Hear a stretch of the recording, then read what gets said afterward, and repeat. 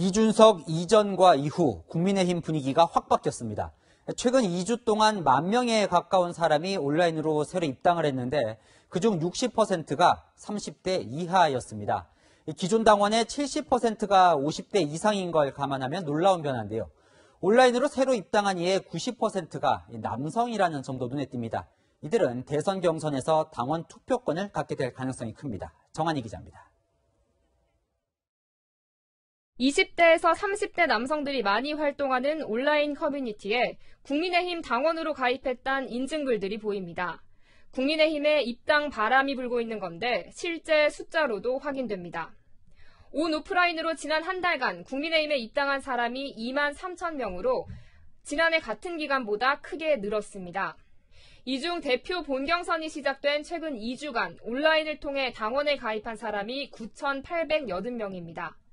이 중 88.4%가 남성입니다. 나이대별론 20대가 31.7%, 30대가 27.5%로 30대 이하가 전체 온라인 가입자의 60%를 차지했습니다.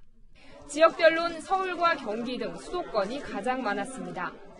이제는 이 2030들이 적극적으로 어떤 국민의 힘에 어떤 호응을 하는 그런 자세를 보이지 저희 당은 상당히 고무적인 현상으로 받아들이고 있습니다.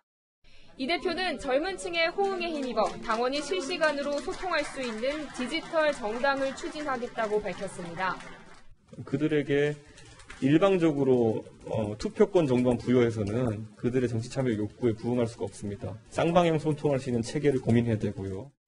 새롭게 가입한 당원들은 월 천원의 당비를 석 달간 내면 책임 당원이 돼 향후 대선 경선 때 투표권이 주어집니다. 경선일을 역산해보면 7월 초까지 당원 가입을 하면 투표권을 받을 수 있는 만큼 젊은 층의 당원 가입은 당분간 계속될 것으로 보입니다. 자발적으로 입당한 만큼 적극적으로 투표할 가능성이 높아 현재 영남 50대 이상 위주의 33만 당원 지역에도 변화가 예상됩니다.